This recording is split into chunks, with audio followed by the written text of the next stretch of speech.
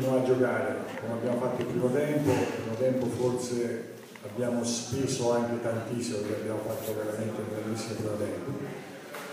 Eh, non dimentichiamo che oltre eh, Annalini che è uscito come dicevi tu, eh, chiaramente ci ha creato perché stava facendo veramente eh, i danni all'avversario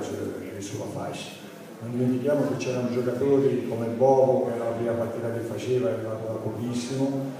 e che alla lunga sapevo che avrebbe pagato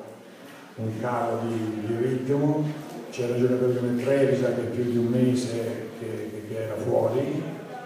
E quindi anche questo nel secondo tempo quando i ritmi si sono alzati perché l'avversario chiaramente aveva dei cambi di grande qualità si è giocato tutte le possibilità, gente di gamba, gente che, eh, di, di, grandissima qualità, in quel momento lì noi dovevamo essere un po' più, mm, come si dice, furbi, un po' più attenti, tenere ancora più palla come abbiamo fatto nel finale del primo tempo dove facevamo girare palla molto bene.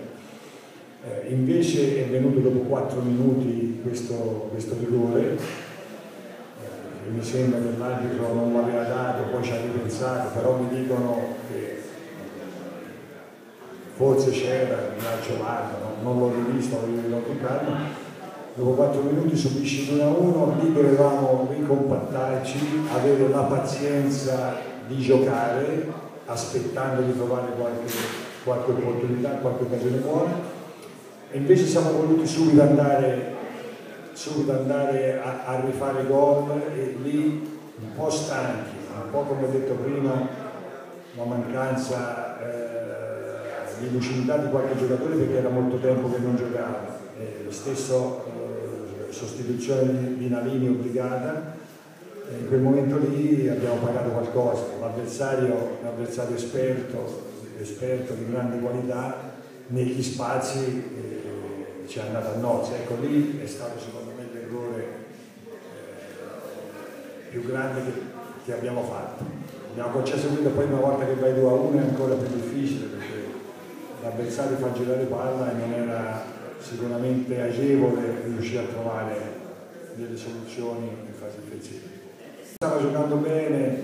eh, chiaramente ho dovuto cambiare perché ho spostato un po' negro sull'esterno perché c'era questo Lopez che veniva su,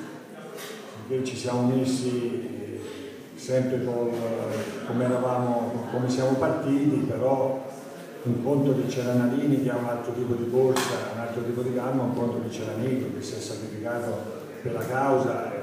io l'ho detto ai miei giocatori, testa alta, perché abbiamo fatto